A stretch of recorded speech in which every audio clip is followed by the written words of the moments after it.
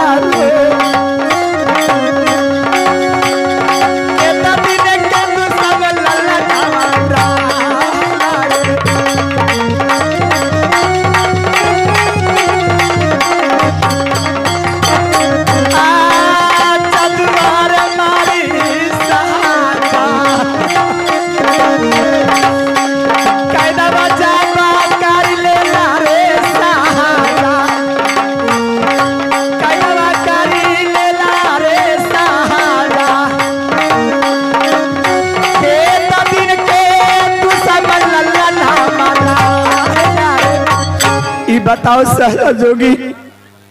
मेरा पुत्र, में कितना दिन के दुश्मन था कि हमारी बेटा को जादू चलाकर तुम कैद कर लिया। ये बताओ, मैंने बचपन से तुम्हारा मैंने पाली और हमारी पर तुम वार कर दिया। नहीं माता जी नहीं चीने थे, हमसे गलती हो गई। क्या गलती हो गया? ये बताओ कि मेरे पुत्र कोई आ सकता है कई छुड़ाने के लिए? तो तुम जादू आ तुम चलाओगी। नहीं। पंसा हाथी तुम सीकर तुम आओ चलाएगा? नहीं चलाऊँगी।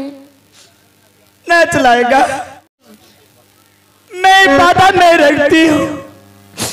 मेरे कैद छूटने के बाद उस पापी को बाप के बदला बेटा चुकाएगा। इस मारो गए में और साचा जोगिर पंसा हाथी, नौलख का गिरबरहार, मैं सब में आपको राजमहल लेके चलूँगी।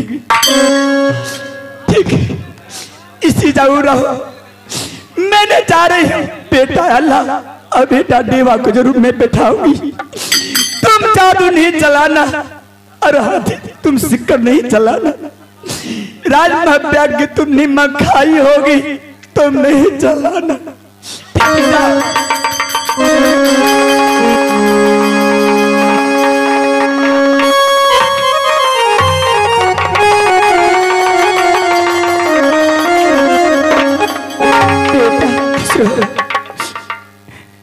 बेटा, जाओ साचा जोगिर पंसा हाथी, तू मना लिया बेटा। जाओ, उस भाई को कैद छुड़ा लो। और कैद छुड़ा के बाप की दाव चुकाओ मेरे लाल सहजा जोगिन मान गई, पंसावर हाथी मान गया। भाई देवा ऐसे में यहाँ से सेना को सजा करके हम लोग मारो घर में फिर चढ़ाई करो। भैया जी कहते हैं कि अल बल चल तब दुनिया में चल। भैया जी यदि हम लोग ऐसे जाइएगा तो भाई रुदल के ढूंढ नहीं पाइएगा। तुम्हें भी कहना है कि हम लोग इस रूप में जाएँगे तो हम लोग भाई उदल को कहाँ ढूंढेंगे? इसीलिए जोगी के रूप धारण कीजिए भैया जी। क्या हम लोग दोनों भाई जोगी का रूप धारण करो? हाँ। ठीक है। भाई देवा तुम जैसा कहोगे और सुधार करने के लिए तैयार है। ठीक है चलिए। माता जी आप तंबू के निकट बैठिए। हम लोग दोनों भाई जोगी का रूप बना करके मारो फिर जाओ भाजानी लेना नामी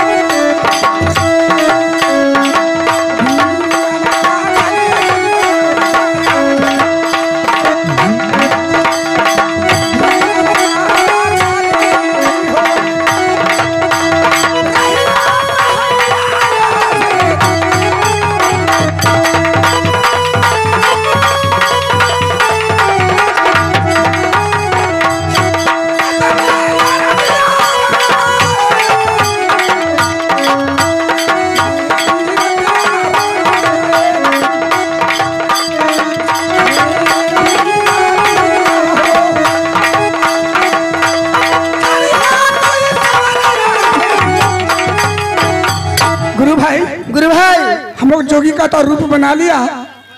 लेकिन नाचते हुए गाते हुए हम लोग मारोगढ़ में चलना है। किताबें किसी राजाओं को पता नहीं लगे कि ये सब किसी राजाओं का काम है। ठीक है गुरु भाई। चला जाए। चलिए।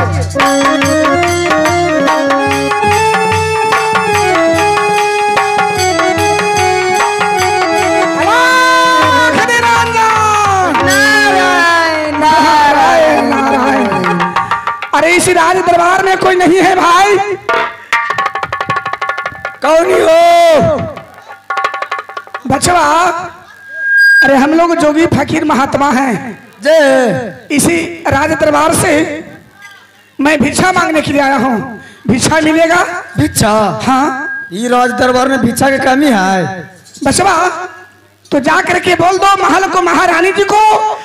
कि द्वार पर दो महात्मे जी आए हुए हैं उनको जाके भिक्षा दे दीजिए। जय। हाँ। महारानी जी से भिक्षा मांगिया है अरे पागल बोलना के महात्मे जी आए हुए हैं हाँ। जाकर के उनको भिक्षा दे दीजिए। अरे तो काट न लेते यार? राम राम कहा हमने बोलता हूँ भिक्षा तो कहता है भिक्षा। कैसा मूर्ख से हमको पाला पड़ तो गया। ही ना बोल रहे कि भिक्षा चाहिए। अरे भिक्षा नहीं बहादुर। भिक्षा भिक्षा। मिलेगा? भिक्षा हाँ हाँ। ये जे बाबा बैठा। अच्छा ठीक है बैठता हूँ। आओ ये बोले महारानी जी के। भाई ए नौनी जी। ए नौनी जी। चलो आसन ग्रहण करो आसन ग्रहण करो भाई। ए महारानी जी आओ जल्दी। इतना इतना भोरे भोरे आ जाओ ना। चाहे महारानी जी सुतला ही अलखिन। अरे भाई हम लोग क्या करें? महात्मा है। हम लोग सुबह सुबह चार बजे के समय में हम लोग गंगा स्नान करते हैं। और गंगे स्नान से हम लोग किसी राज में निकल जाते हैं। क्या बात है? और द्वारिया पर बाबा लखून क्या योगी बाबा हैं? हाँ योगी बाबा लखून तो तुम तो जानते हो। हाँ। कि मारोगढ़ का नियम है कि जो जोगी फकीर आते हैं बिना भोजन किए हुए यहाँ से जाते नहीं। जी। उनको भोजन कराया जाता है उसके बाद दान दक्षिणा दिया जाता है उसके बाद वो जाते हैं। जी तो सही है बात है। तो तुम बैठाए हो। बैठाइले ही द्वारिया पर ना। तो अंदर लेके चलो। ए बाबा चला भीतर। कहाँ चलू? कहाँ चलूँ? भीतर चला भीतर। अरे मूर्ख कहीं का? कितना दिन से इस राज में रहते हो? आज से ये तो पैदे ले लिए।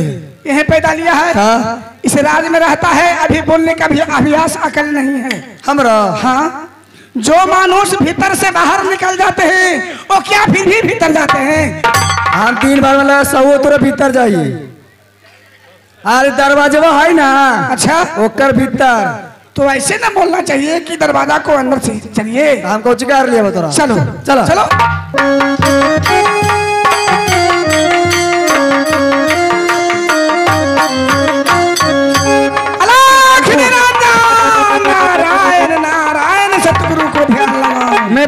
चरणों में नमन करती हूँ। आनंद रहो बच्चिया आनंद रहो बच्चिया। बैठी बाबा ए दरवान अरे बैठने का व्यवस्था करो। हम बैठाइए। बचवा अरे साधु महात्मा को धरती भुइया पर नहीं बैठाया जाता है कुछ आसन ग्रहण करा लगा दो। बैठी बाबा। राम राम कहा बतलाओ चादर बिछाया है उस पर ना जाने क्या थु थु थु थु, थु कर रहा है। पागल कहीं का।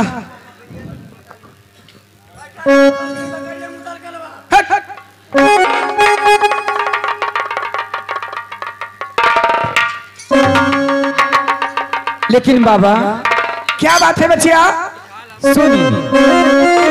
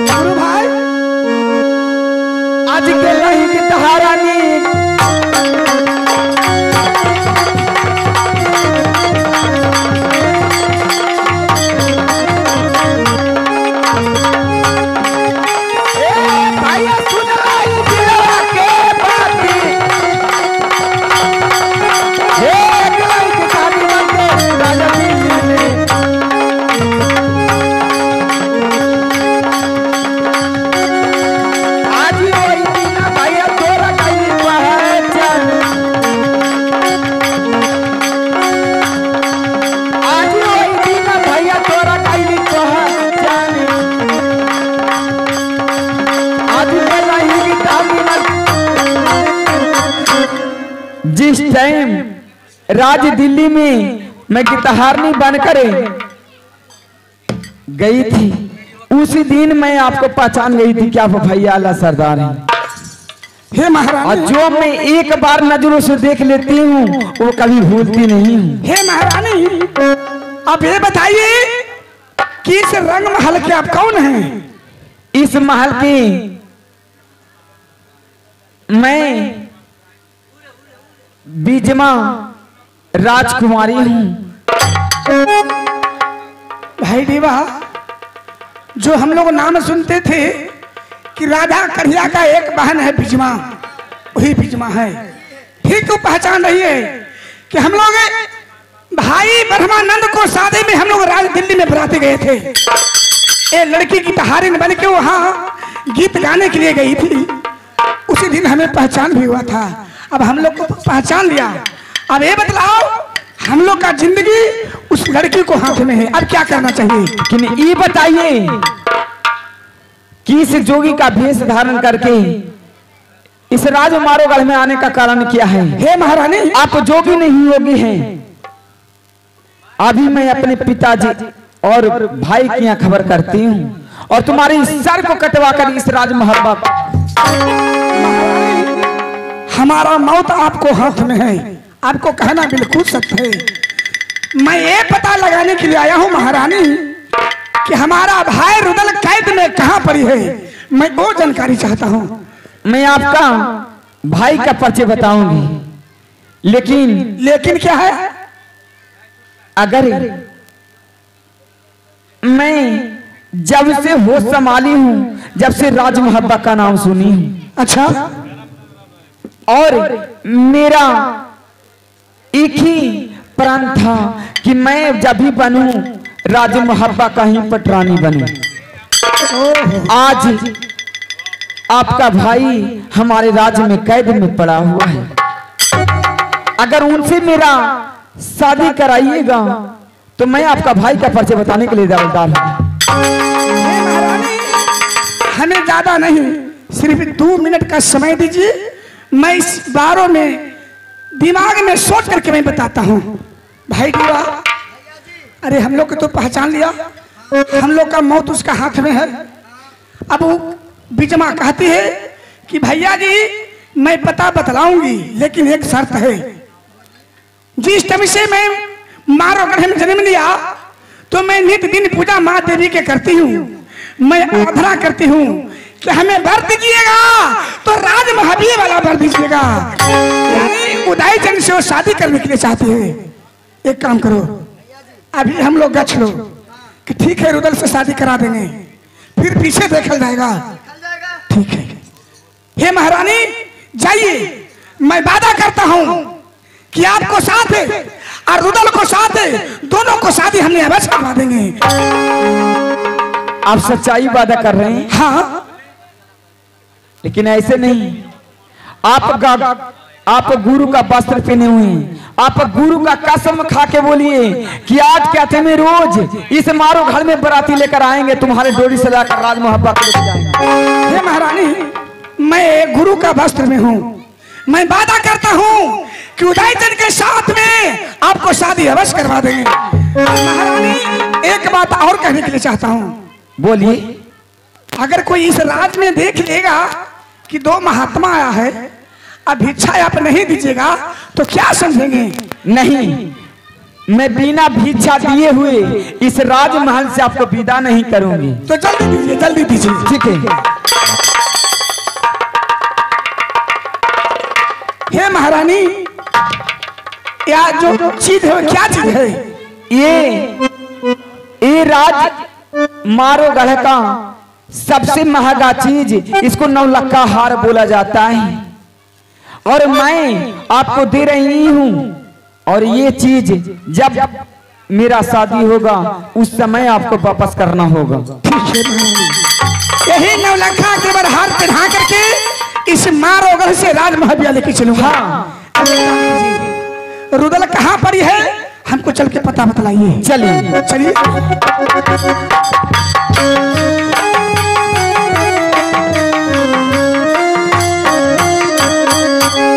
आपका भाई यहाँ अस्सी हाथ का तरहरा खता हुआ है। उसमें आपका भाई को भरा गया है। हे महारानी अगर कोई राजों को देख लेगा प्रजापति उदयजन के पता बतला रहा है तो आप ही बदनामी हो जाइएगा। इस जगह से आप चले जाइए। लेकिन आप भी थोड़ा सरलता से काम लीजिएगा। आप भी चले जाइएगा। नहीं तो किसी को अगर पता हो जाएगा तो मेरे भाई के यहाँ खबर चल जाएगा आपका सिर ही टंगा ठीक है?